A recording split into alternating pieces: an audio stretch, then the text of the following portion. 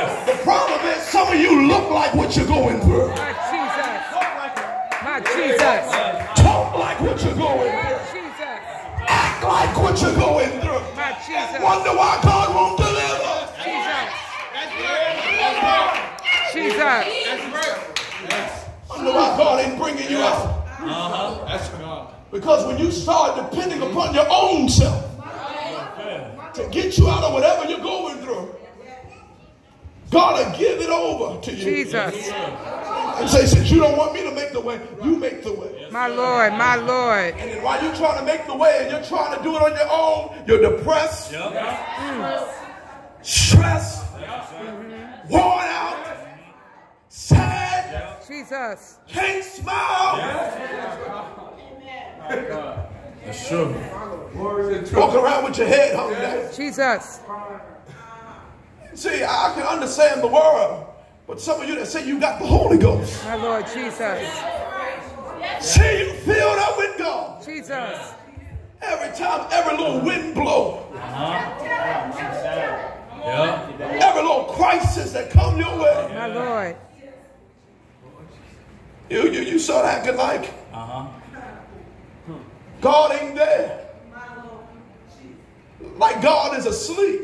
Jesus. Like God can't see. You know, y'all act like them disciples that was on a boat with Jesus. And Jesus was sleeping in the boat.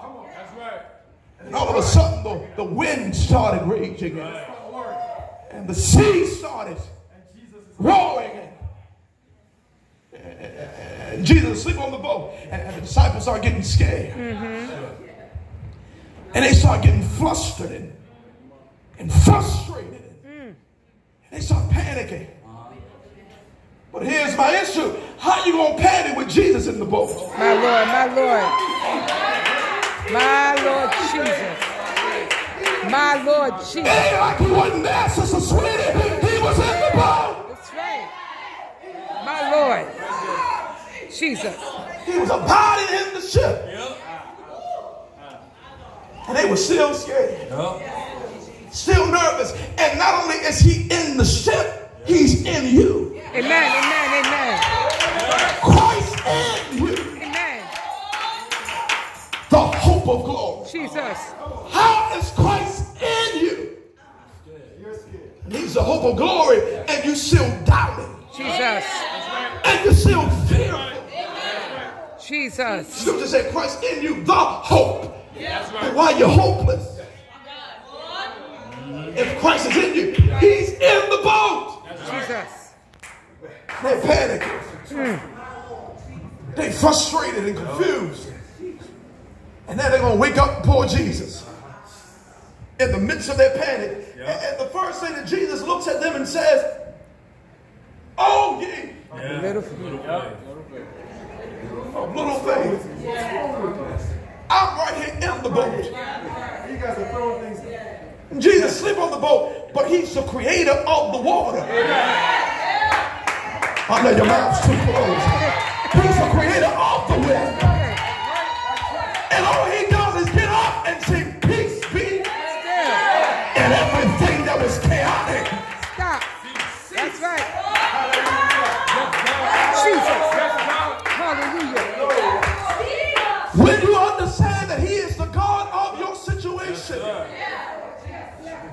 See, here's the problem. You made Him your God, but didn't make Him the God of your situation. Jesus. I got you. Jesus. I got you. He's my God, but if He's your God, then that means He has dominion over everything that you will go through. Amen. Sister Sweeney, He's not only your God, but He is the God of sickness. Yes, he is.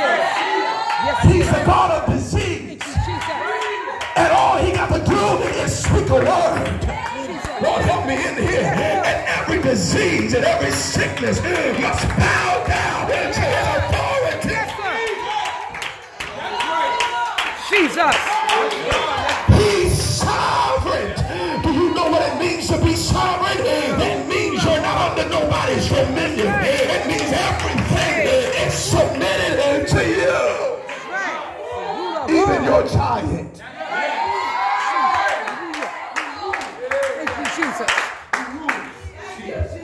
Thank you, Jesus. He's. He's the God of your fear. Yes, sir.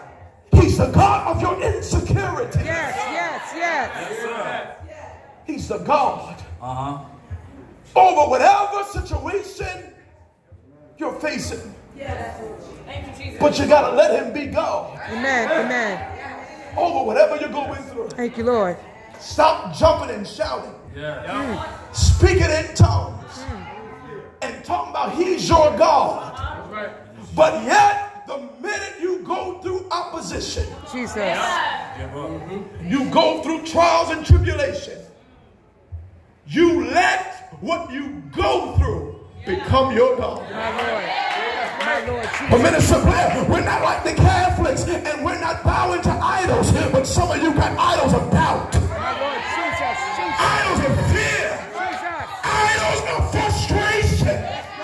You let your job become an idol. My Lord.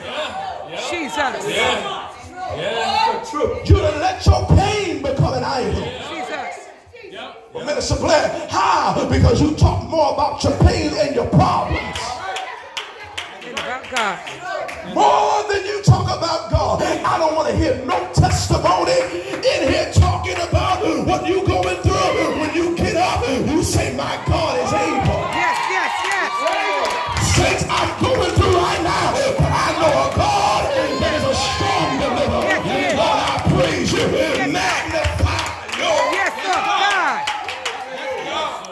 You, Jesus.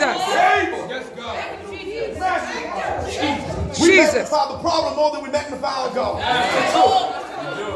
The word magnify means to make something bigger, Yes. to make it greater. Yes. You know, when you over exaggerate, you know, when you're being too dramatic, you know, you get a headache and you act like you're dying. My Lord, my Lord. Your bill is only one month behind and you frustrated. Jesus. Like God ain't able to make double Yeah. for whatever you're going. Oh, my cell phone is behind. My, my, my rent is behind. How, how backed up you are just a month. When you have people that are facing foreclosure in their homes, Jesus. Jesus. months of backed up bills. Yeah. And you got people that got months of backed up bills and they're still trusting in God. Amen. Amen. And the minute, Lord, I praise you, Jesus. Talk about it. that the people come to foreclose on the house, at the very last minute, God step in. Jesus. Jesus. Here's the problem. You want God to step in when you want him to step in. Lord, I praise you. But you got to have faith even when it's the last second.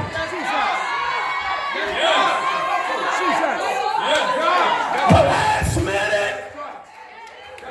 But Minister you can say that because you preach the gospel. But no, I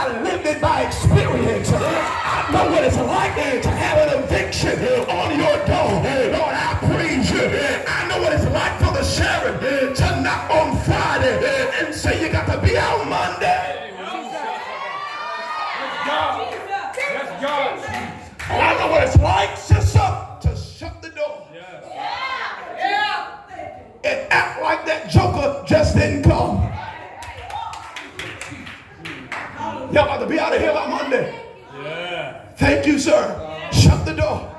Honey, go put the kids in the tub. Get them ready for bed. And I know what it's like to go to sleep and rest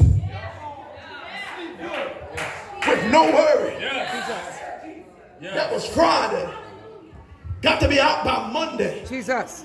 And you don't got no place to go. Yeah. You don't know where you're going. Lord, you got to work a miracle. Yeah. That's right. Within 72 hours, Yes, you God. have to work a miracle. You got to turn this thing around.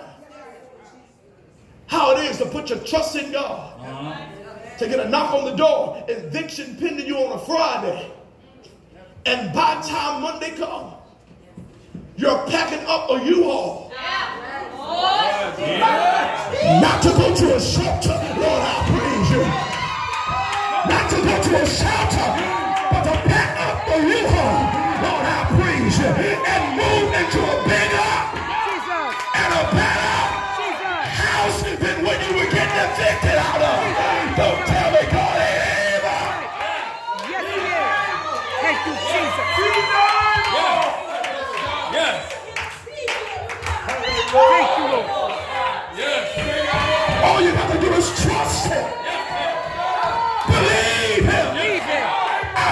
like to be down to nothing, almost dying. Jesus. God able to raise you back up. Jesus. Jesus. My God. Trust him. Yeah. Problem is, some of y'all ain't really been through nothing yet to prove it. Jesus. See, David was getting ready to go against Goliath, uh-huh. and they wanted to put on some armor. And when they went to go put on the armor, David said, wait a minute, no. I ain't proved this stuff. Right. I ain't skilled in this. Right. I don't know how to operate in this. I ain't taking on that armor. I ain't putting on that jump. Yeah.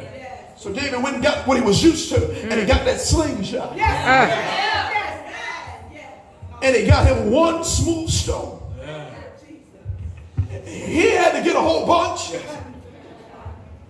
Sister Victoria, he knew that that one, That's it. that one was going to do the job. That's why some of y'all better stop going to these psychologists my Lord. and these psychiatrists. And that's why you better stop going all around to all these doctors trying to figure what you got to figure out. Where you need to go, we need to go to Jesus. My Lord. I don't care nothing about Dr. Phil and Oprah Winfrey. Praise the name of the Lord. Jesus. Well, you just don't know. Now, now I'm hearing preachers talking about you got to go to a psychiatrist and to the church. Lord, Lord, I praise you. And now they're telling us that we can't only be spiritual, but we got to be practical. So you got to go sit on somebody's couch. But I remember in the Bible, there was a man who was a lunatic. Y'all ain't saying nothing to me. Lord, I praise you. And he was walking around the tombs. Lord, help me in here. Butt naked. Jesus. Yep. Yep. Right. Uh-huh. In the word. Butt naked. Yeah. walking around butt naked, cutting himself. Well, Minister Black, you know, it's mental health awareness month, and we got to tell the people practical truths. Let me tell you something. The man in the Bible, they called him a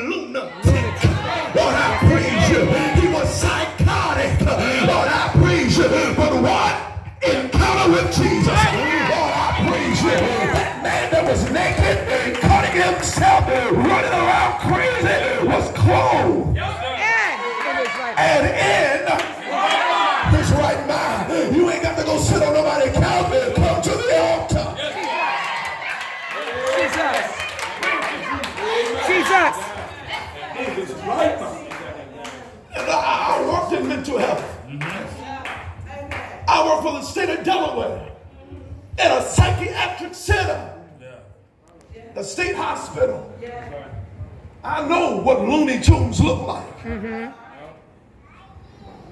And even though they told me all this practical mumbo jumbo, and even though they told me how to take a person down if they get into a psychotic episode and how to prepare myself and how to defend myself, I didn't prove none of that junk. That's right. Because I knew the reality it ain't nothing but evil spirits. Amen. Amen. Amen. Amen. So we got a man on our ward one day, and they had him be a two to one. And when you have somebody that's a two to one, that means they're very psychotic. And at any moment, they can't have one person on them. They got to have two people on them at all times. And you had to be two people, and you had to be at arm's length. In other words, if his arm could reach you, you had to be further back than that. Yeah. So you had two on each side, and he's walking in front of us, and we had to be an arm length away from him. Following him to the bathroom. Follow him in and out of his room. Talking to himself, seeing things, writing on the wall, saying stuff, talking to people that are not there. My Lord. Oh God, and everybody was scared when he came on the unit. Yeah. Folks didn't want to work over there, was mad. Then when they dropped it from a two to one to a one on one, they even got even scared. Then I got to sit over this, over this side with this joker by myself. Yeah. See, working the morning shift, the working the day shift was easy, but that night shift was hard, and I worked 11 to 7. Mm-hmm. And one day I was on that unit by myself, and that joker got the punching stuff in the room. Boom, boom, boom. Cussing, carrying on. And he ran out of the room in a psychotic rain, and I sat there. That's right. That's right. Most people started coming in, and I could see him in the glass in the room, started peeking over. See what he was doing, scared. And I sat right there. Mm-hmm. And he banging on the wall. And while he banging on the wall, you're in the workplace and they got cameras, so you can't do too much. See, I know the power of God. Hey, Jesus. Jesus. Glory. I said that. I said in the name Yeah. of In the name of Jesus. That's it. said that in the name of Jesus. He started getting louder, and as he got louder, I started raising my voice a little bit more. Uh-huh. I said, in the name, Name of of Jesus. Jesus. He turned and he started running down the unit toward me. I said, in the name of Jesus. He turned around, went in the room, and went to sleep.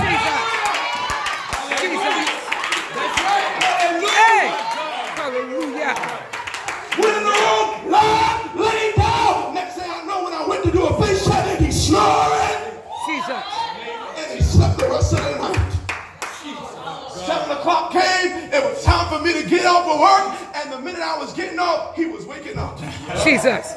sliding up out of the room. All right, I'll see you later. And I went home. Uh huh. Now you jokers got to deal with him. the rest of Right, day. right. Amen. Amen. Your God got to be the God of everything you go through. Jesus. Yeah. You might be facing a giant, mm-hmm. but when you realize you got Jesus, Hey, Jesus. that Hallelujah. that is nine feet tall, hmm. bigger than life itself, Yes. becomes very small. Mm-hmm. David took that slingshot and he put that rock in there. He flung that joker back. Boom! Dead in the middle of his forehead. And that giant came down. David climbed on top of him, Took his sword took the sword, Chopped his head off. cut off his head. And David walked around Yeah. with the head of the giant. My Lord. Which lets us know that if you put your trust and your confidence in God, Yes, sir. whatever's trying to overtake you right now, mm-hmm. God will give you the victory standing all over Yes, He will. Hallelujah. to overcome. Thank you, Jesus. And God will allow you to use your Jesus. dilemma Yes. as a testimony Yes, yes, yes. Hallelujah. of what Hallelujah. God could do. Hallelujah. Now David can add to the resume Yes. that the God that put the line in my hand, Hey. the God that gave me the head of this bed, is the same God That's right. that has given me the head of this uncircumcised Circumcised Phyllis. Philistine. That's right. Letting us know that if God has done it before, Yes. Yes. He is well able That's right. to do it again. Amen. And there is no problem too small, Thank you, Lord. no problem too big Thank you, Jesus. that God does not have the ability to bring you out of. Thank you, Lord. Only believe. Only believe. Hands lifted.